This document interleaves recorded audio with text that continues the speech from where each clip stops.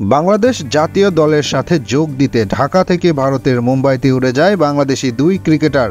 চার ম্যাচ খেলে ফেলা বাংলাদেশ দলের সঙ্গে নতুন করে ক্রিকেটার যোগ হচ্ছে এই খবর শুনে অনেকে চমকে যেতে পারেন।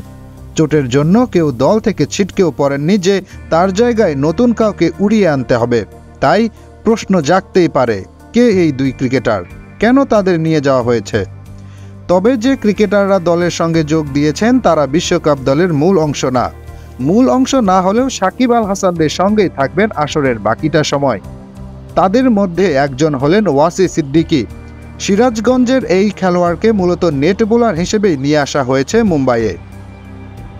বাংলাদেশ অনূর্ধ্ব উনিশ দলের হয়ে খেলা এই লেগ স্পিনারকে বেশ আগেই মনে ধরেছিল জাতীয় দলের হেড কোচ চন্ডিকা হাতুরে সিংহেরও। ওয়াসি অনূর্ধ্ব উনিশ দলের হয়ে বেশ কিছু ম্যাচ খেলেছেন। দুই হাজার চব্বিশ সালের যুব বিশ্বকাপ দলের নিয়মিত সদস্য মনে করা হচ্ছে তাকে। ওয়াসি ছাড়া অন্যজন হলেন অনূর্ধ্ব সতেরো দলের লেগ স্পিনার শিহাব। এই লেগিও দীর্ঘদিন রয়েছে বিসিবির নজরে। জাতীয় দলের অনুশীলনেও নিয়মিত দেখা যায়, তাই তাকেও নিয়ে যাওয়া হয় ভারতে। ওয়াসি শিহাব দুজনেই উঠে আসেন স্কুল ক্রিকেট থেকে। ভারতে এসে অনুশীলনে সাকিব মুশিদের বোলিং করার জন্য আগেই নির্বাচিত করে রাখা হয়েছিল লেগ স্পিনার ওয়াসিকে। কিন্তু বিশ্বকাপের শুরু থেকে দলের সাথে যোগ দিতে পারেননি। তবে শুরু থেকে দলের সাথে যোগ দিতে না পারার কারণ ব্যাখ্যায় জাতীয় দলের ম্যানেজার রাবিদ ইমাম বলেছিলেন, আরও আগেই ওর আসার কথা ছিল, কিন্তু ভিসা পেতে দেরি হওয়ায় ওর আশা পিছিয়ে যায়।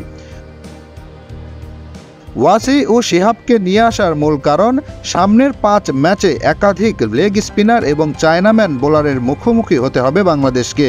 তাই বিপক্ষ দলের লেগ স্পিনারদের সামাল দিতে সেরা প্রস্তুতি নিয়ে মাঠে নামতে চায় সাকিব আল হাসানের দল।